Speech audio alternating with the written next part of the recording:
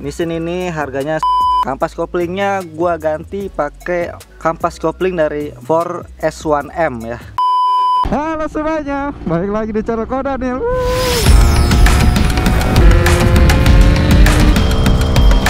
Motor apa ini namanya?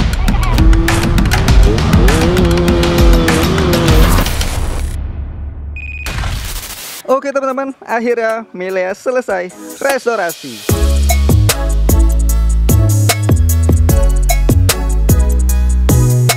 Oke, nggak usah berlama-lama, kita langsung aja lihat motor ya. Dan ini adalah hasil repainan gua. Menurut kalian gimana nih? Wow, kalau dari kamera sih kelihatannya bagus banget sih, nggak ada cacat. Tapi aslinya banyak yang cacatnya, banyak pernis-pernis yang bleber di sini di bagian sini sebenarnya ada nih cuman ya nanti semoga bisa dibenerin deh di tukang poles jadi di sini gua akan turutin kemauan kalian di mana kalau gua review motor itu dikasih tahu harganya. Dan itu juga kalau gua tahu harganya kalau motor orang kan gua kayak yang ribet gitu loh kalau nanya nanyain harga um, aksesorisnya gitu loh. Jadi um, gua akan kasih tahu harganya apa-apa aja yang gua ganti. Dan ini nggak ada maksud untuk sombong sama sekali ya teman-teman ya. Ini cuma sebagai referensi kalian untuk modif motor kalian. Biaya repaint di sini gua terhitung cuma biaya bahannya aja itu satu juta lebih. Ya anggap aja satu juta. Dan gue termasuk orang yang boros banget pakai bahannya teman-teman. Jadi ya udahlah itu resiko gue karena gue juga baru belajar. Nah ini hasilnya menurut kalian gimana? Bisa tulis di kolom komentar. Selanjutnya pada dasi gua ganti emblemnya teman-teman jadi ini tuh emblem SS2 ini kayaknya bukan ori sih tapi plastiknya Yamaha. Ini gue beli seharga 85.000 di online shop ya teman-teman. Nah ini penampakannya. Dan ini tuh sebenarnya nggak PNP masih harus ada yang dirubah di bagian dasinya teman-teman. Di mana lubang lubangnya itu terlalu dekat. Jadi si si emblem ini dia tuh colokannya ya colokannya. Pokoknya terlalu lebar di bagian emblemnya jadi harus ngebesarin di bagian dasi. Nah itu dia. Selanjutnya pada bagian jok ini gua ubah lagi kulitnya doang ya tapi bentuknya masih yang lama. Jadi ini gua ubah pakai kulitnya dari SB Tech. Uh, ini tuh teksturnya kayak amplas gitu loh kasar. Dan bagian sampingnya ini karbon dan benangnya ini warna silver jok ini gua custom seharga 120.000 ya. Itu hanya kulitnya aja. Dan gua uh, bikinnya di red black. Dan ini emang tempat langganan gua kalau gua mau ubah-ubah bentuk jok. Karena gue suka aja gitu sama kerjanya rapih. Dan dia tahu taste anak muda ya teman-teman. Itu yang paling penting. Untuk body kasar ini gua nggak ganti. Ini cuma gua repaint ulang pakai Sapporo K36 karena gue lihat review-reviewnya di YouTube Sapporo K36 ini adalah produk baru dari Sapporo ya di mana nggak uh, perlu ribet untuk mewarnain body kasar ya teman-teman. Di sini warnanya jadi terlihat kayak baru dan teksturnya pun nggak hilang teman-teman. Dan katanya keunggulannya ini tuh nggak nggak gampang terkelupas dan tahan goresan gitu loh. Nah ini body kasarnya semua gua repaint ulang pakai Sapporo. Nah sampai spakbor belakang juga ya lumayan lah ya. Di bagian saklar kanan dan kiri ini gue masih pakai yang lama karena sebenarnya gue mikir-mikir mau ganti saklar gue mau custom pakai punya apa gitu ya dan gue juga mau ganti gas spontan cuma gue belum nemu yang pas aja menurut gue jadi masih pakai yang lama. Dan ini bar N atau jalur stang gue ganti pakai punya Vega Z Vega Vega R ya. Vega R kodenya 5ER nah jadi itu mirip-mirip sama Evan ZR loh. Cuman harganya lebih murah. Ini harganya 45.000 ya. Seset kiri kanan plus bautnya. Oke lanjut ke bagian kaki depan. Di sini gue pakai kaliper Nissin 4 piston 2 pin.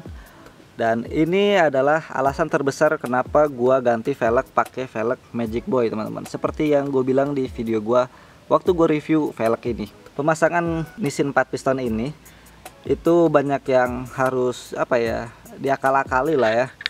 Pertama dis. Oh ya Nissin ini harganya 1,8 di online shop. Di sini harganya 700.000 700.000 dan ini tuh adalah disk punyanya Satria. Jadi dia tuh agak mangkok sedikit tapi lebih landai daripada RX King ya teman-teman nah di sini supaya mengakali supaya tidak mentok ke bottom shock ya. Terus di belakang disk ini juga ditambah ring satu diganjel ring satu supaya dia agak keluar dan si kaliper nggak mentok ke palang.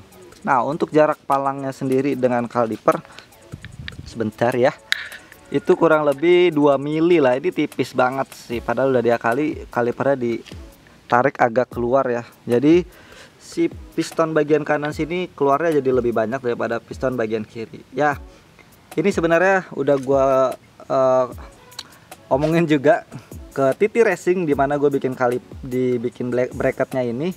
Katanya nggak ada masalah. Um, kayaknya menurut logika juga tekanannya juga akan sama ya kiri dan kanan karena pakai uh, cairan juga gitu ya nekannya. Ya semoga sih ya. Semoga aman dan nggak seret dan nggak ngancing juga pastinya. Untuk bracket caliper ini gue bikin di TT Racing harganya Rp650.000 teman-teman. Di sini nggak ada endorse endorsean ya. Di sini gue mandiri sendiri ya. Yeah. nah tahap pembuatan bracket ini juga harus ngebubut bagian bottom shock. Ini bottom shock bagian sini. Itu tuh agak dibubut sedikit untuk jalur uh, pin floatingnya ini teman-teman. Karena kan velgnya agak sedikit keluar ke sini kan eh, apa disnya jadi dia kali supaya aman ketika berkendara lah jatuhnya ya. Oh ya gue lupa dari tadi gue liatin ini. Um, sebenarnya ini adalah pertama kalinya gue pasang baut-baut kayak gini nih teman-teman ya. Baut-baut probel-probel gini stainless-stainless kayak gini nih di motor gue itu. Ini pertama kalinya. Ini supaya nunjang si kalipernya ini aja sih supaya terlihat wah aja gitu. Cuman perih juga teman-teman ya. Ini harga baut banjonya 35.000 terus harga 4 baut ini satunya 25.000 jadi 4 100.000 uh lumayan sih. Berasa juga gue cuma beli yang seginian juga. Cuma 5 5 piece doang. Tapi gue juga ada niatan buat ganti baut yang di sini nih. Karena pertama gue mau baut yang lebih kuat. Dan bonusnya itu adalah lebih ciami lah gitu ya lebih ganteng dilihat ya. Nanti gue mau ganti juga. Pakai baut stainless. Nah untuk velg velg juga gue udah review dan gue kasih tahu harganya. Harga velg magic boy ini gue dapat di harga 2.600 ya teman-teman. Terus ban ban depan ini masih pakai ban yang lama. Ini adalah ban belakang tadinya terus gue pindah ke depan karena gue lihat kembangannya masih bagus jadi ya lumayan lah. Ini sedikit mengurangi budget sekitar 450 ribuan lah. Berkurang gara-gara gue pakai ban yang lama. Nah untuk gearbox gearbox ini gue pakai punyanya Jupiter kodenya 5TP ya kalau nggak salah. Dan ini harganya lumayan cuy. Padahal bentuknya sama-sama aja gitu ya sama, sama Mio. Gue liat punya Mio cuma harganya 20 ribu 25 ribuan itu yang original. Dan ini punya Jupiter 5 TP harganya 80 ribu. Eh 81 ribu lebih tepat ya. Lumayan lah ya. Tapi lebih mahal lagi bu aslinya Evan ZR sih 100 ribuan lebih. Oh iya um, di sini kan gue pakai kaliper Nissin 4 piston ya. Tapi master rem gue masih pakai punyanya R25 dan besar diameter master rem ini cuma 11 mili teman-teman jadi nanti akan ada video selanjutnya di mana gue melawan stigma orang-orang gitu ya. Di mana gue mengakal-akali uh, master rem kecil dengan pistonnya cuma berapa? 11 mili tapi masih sanggup untuk menunjang kaliper 4 piston ini ya. Nanti ada di video berikutnya. Di mana proses bleeding gua berapa lama gue ngebleeding dan ini hasilnya sih. Nah. Nggak begitu dalam kan sekarang kita geser ke kaki-kaki bagian belakang. Nah seperti yang kalian sudah lihat di sini gua ganti shock breaker. Waduh ayamnya bersih sekali. Shock breaker punyanya KTC Racing. Di sini gue beli seharga 1.800 ini gue beli langsung nggak online ya. Dan rantai gue ganti juga tapi gearset masih pakai yang lama. Cuma rantainya gue ganti pakai triple S HSBT uh, panjang 120 L ya. Dan ini ukurannya 415 ini harganya 200.000 nah velg masih sama main depan Magic Boy. Ban belakang ini yang gue ganti baru tuh. Ban belakang baru satunya ini ini gue beli harganya 440.000 nah lumayan banget kan.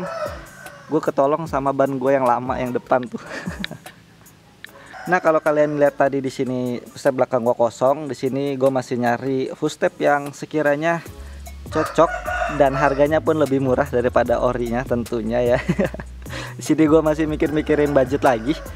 Um, tadinya gue mau ganti punyanya CBR 150, cuman gue masih mikir-mikir sih. Jadi ya udahlah nanti lagi. Sambil berjalan sambil cari referensi footstep belakang. Tapi kalau kalian punya uh, referensi footstep belakang yang ganteng gitu ya bisa tulis di kolom komentar.